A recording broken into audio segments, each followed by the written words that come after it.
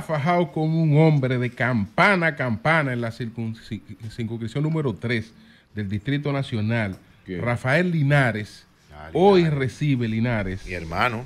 Recibirá a Omar Fernández para brindarle su apoyo en una actividad a las 5 de la tarde. Esa actividad. Muy importante. Eh, pues eh, eh, contará con la asistencia del ingeniero Miguel Vargas Maldonado. Hoy en el Club de los Mártires de, pues, del, Club de Héctor J. Díaz. Héctor J. Díaz, pues ahí va a recibir Rafael Linares hoy.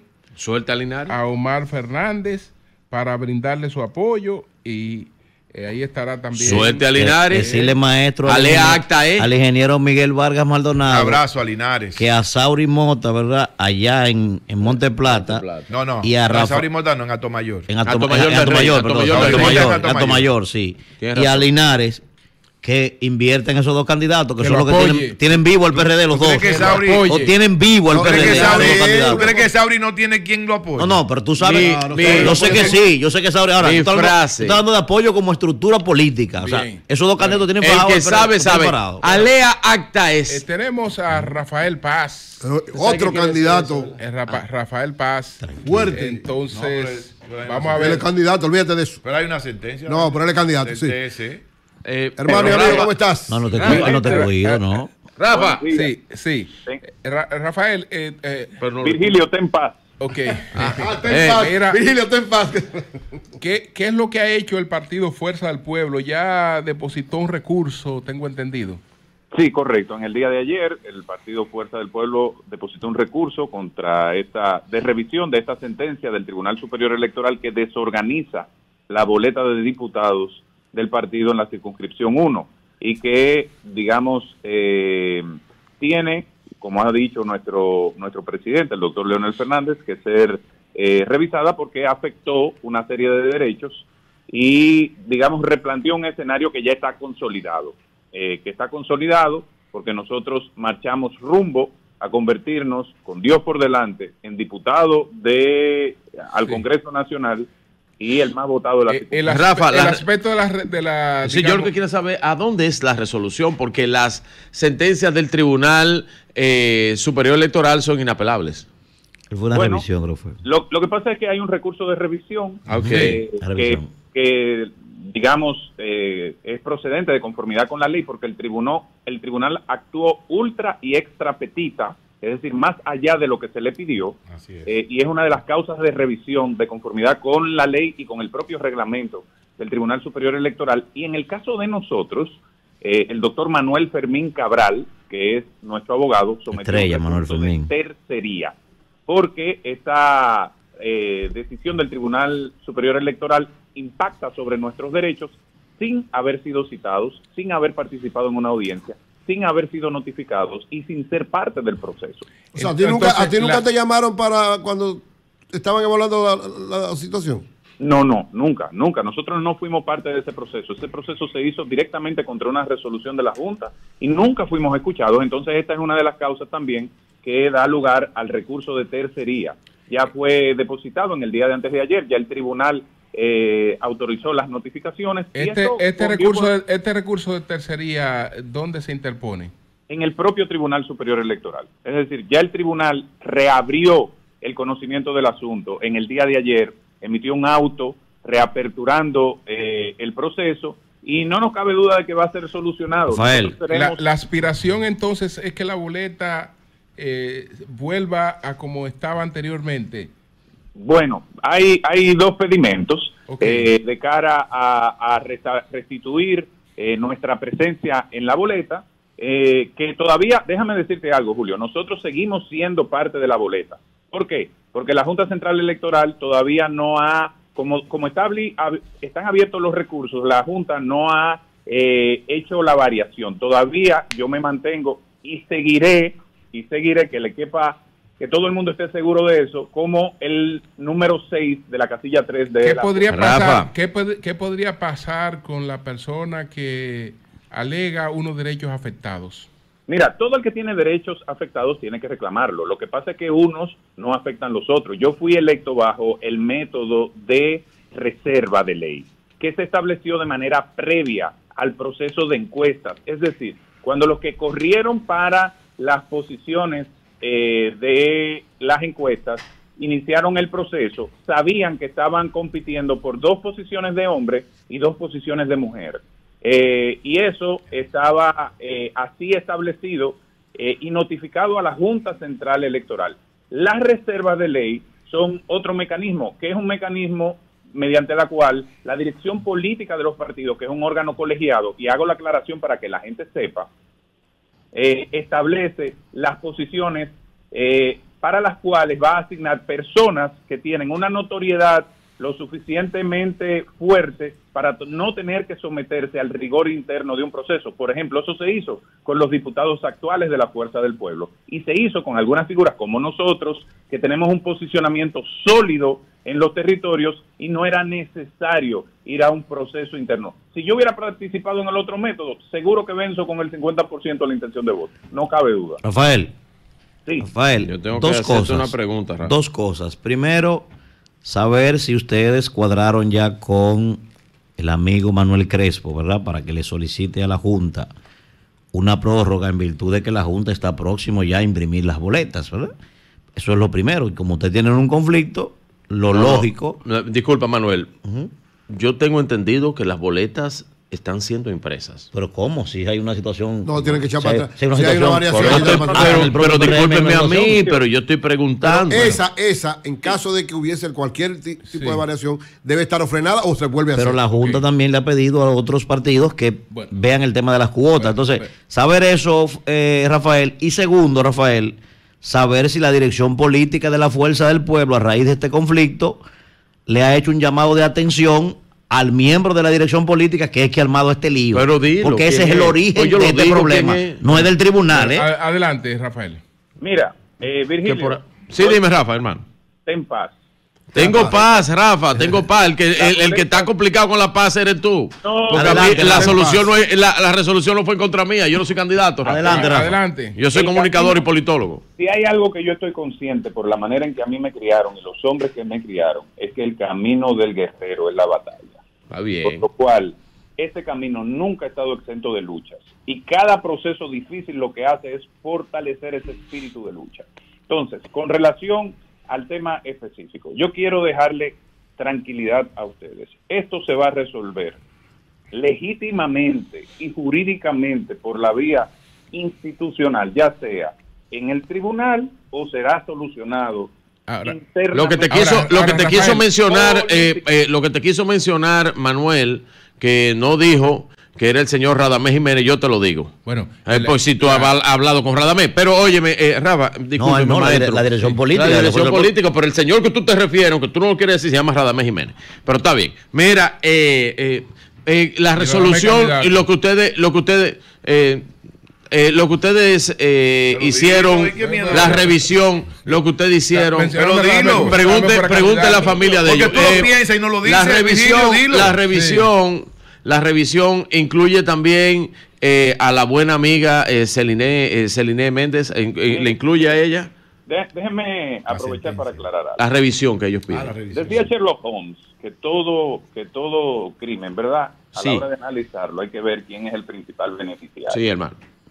Y según todas las mediciones, con nuestra presencia en la boleta, el escenario de la circunscripción 1 es el siguiente. es así. Tres diputados la oposición, tres diputados, dos de la Fuerza del Pueblo, uno del Partido de la Liberación Dominicana al día de hoy. Eso dicen las encuestas.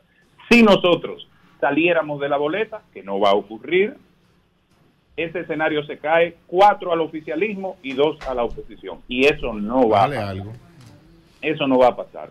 Porque nosotros nos mantendremos, porque todo el mundo está consciente mis encuestas me dan lo mismo que tú estás diciendo, cuatro oficialismo y dos a la oposición. Garantizamos no solo que la Fuerza del Pueblo gane con nuestra diputación, sino que le aportamos votos a un segundo diputado.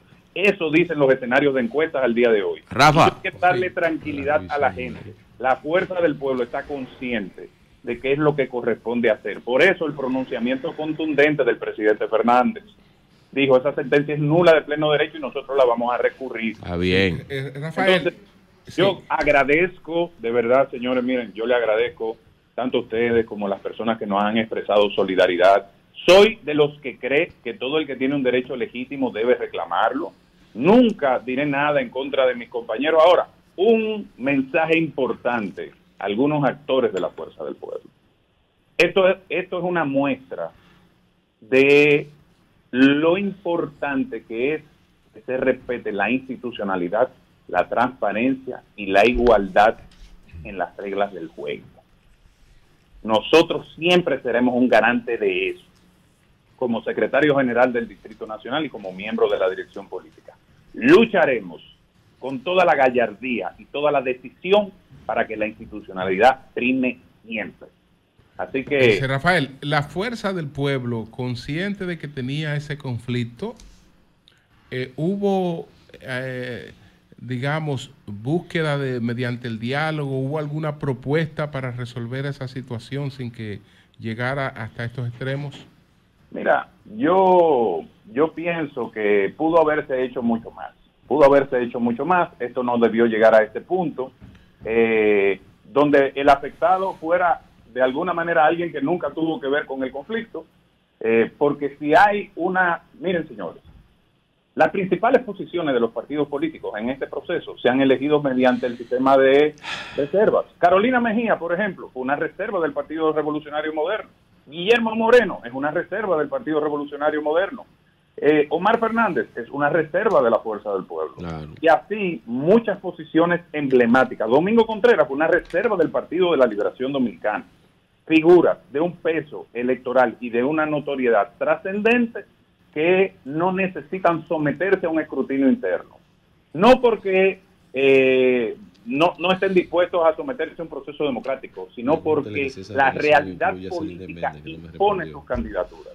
Es lo mismo que ha ocurrido con nosotros. ¿Cuál es la situación de Celine Méndez? Celine Méndez, eh, obviamente, este desordenamiento que ha hecho eh, la resolución del Tribunal Superior Electoral digamos que obliga a recurrir a unos mecanismos de, inscripción, ¿verdad? Le, variaría su número, etcétera, lo que es terrible para un candidato que ya tiene... Claro, claro.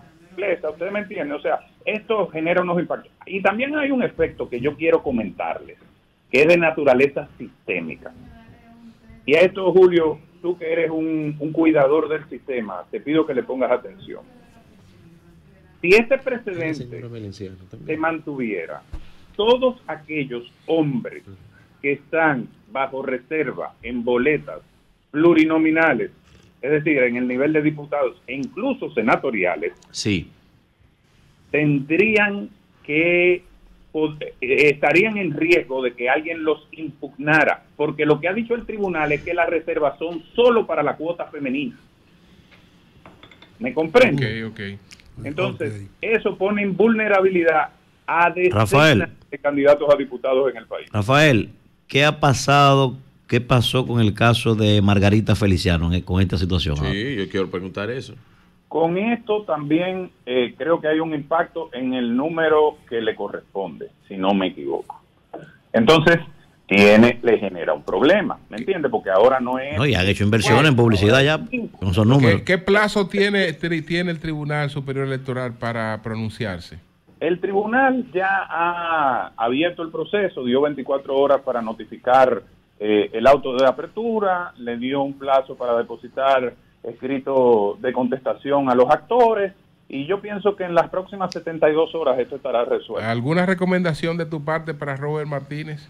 No, señores, no, no, no. Eh, yo apoyo y respaldo a todos los miembros de mi partido, a todos aquellos jóvenes de la República Dominicana que hacen actividad política.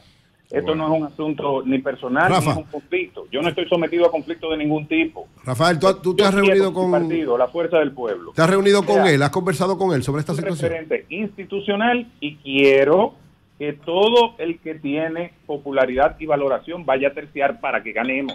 Eso es lo que yo quiero. Yo quiero que Omar Fernández sea senador, eh, con Dios por delante, seré diputado en el número 6 de la casilla 3 y que transformemos la República Dominicana para mejor. Para eso es la política, no para conflictos, no para diatribas, no para enemistades. Yo soy parte de una nueva política, de una nueva generación y a lo que he llamado es a la evolución de la República Dominicana. Voy a aprovechar, Julio, para invitarlos a todos. Le haré llegar mm, la formal invitación a el, el acto de puesta en circulación de nuestro primer libro, Evolución para una República Dominicana en paz. Aprovecharemos e inauguraremos también nuestra casa política, que está situada en la Jiménez Moya, es decir, en la Churchill, ¿verdad? Cerca del Congreso, esquina Correa. esa, esa casa política de la Fuerza del Pueblo de Rafael Paz. Del, de, de Rafael Paz. Ok, ah, pero ya es un proyecto. comando de campaña. Pero ya es un proyecto que va más allá de una diputación. esto es un proyecto para representar a los habitantes de la circunscripción 1 del, del Distrito Nacional y nosotros yo, estamos saber si la resolución un espacio político serio en la República Dominicana. con una visión pues, de medio largo plazo. Eh, le, queda, algo por saber? Eh, eh, el señor Francisco, el hijo del señor Francisco Guillén. Francisco Guillén, se queda ahí en la, en la la, resolución lo afecta a él. La sentencia. La, sentencia. No. Vamos a ver lo que, lo que dispone el tribunal y el proceso, señores. Bien, Pregúntale, pregúntale a Radamés, Rafa. Vigilio, ten paz. Vigilio, a Radamés. Ten paz. Sí, yo tengo paz. El que no tiene paz es Radamés. Bueno. Dile a Radamés que resuelva Vigilio, eso. Ten paz. Él sabe de eso. Ten paz, Virgilio. Que la burre valle porque tengo los pelos en la mano, de que nosotros nos mantendremos en el número 6. Ahora, la verdad es que la boleta, la boleta, sin Celine Méndez, sin ti, está debilitada. Esa es la verdad. Claro, y, sin, Robert Martínez también. Sin Robert, eso es solo los, candidatos más potables que tiene esa boleta. Gracias, gracias. Cambio fuera.